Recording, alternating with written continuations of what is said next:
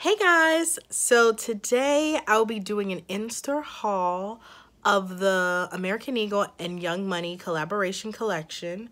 So if you want to see what I thought and some of the things that they are selling, stay tuned.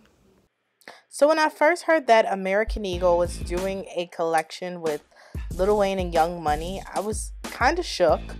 Uh, I was concerned on like what did the two brands even have in common to even, you know, be collaborating. And when I finally saw the full collection, it made a lot of sense. It was reaching this kind of audience of like skaters and like the the vibe that they have. And it was very interesting how they use like different types of funky fonts and stuff like that to give this like 80s vibe, which was really cool. So the first thing I tried on was the tie-dye long sleeve.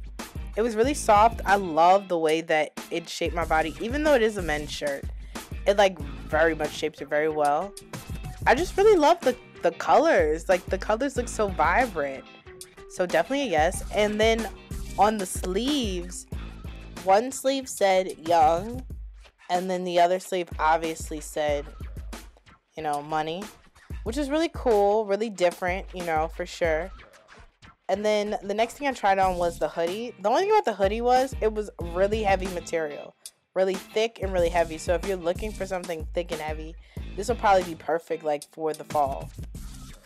The next thing I tried on was just like a basic Young Money tee. It was cute and it was comfortable. It also stick too. But the coolest thing they had was this. This jean black jacket with Young Money on the sleeves. And then on the inside of it, the patch, it had like Young Money and gold. And they also had it on um the men's jeans since it is a predominantly men collection. I definitely lied. The coolest thing is definitely this chain.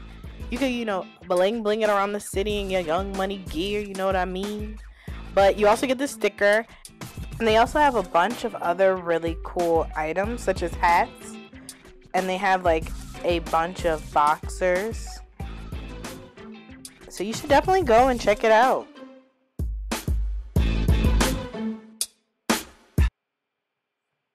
So if you like what you saw today, make sure to like, subscribe, and comment at the bottom. So until next time, bye.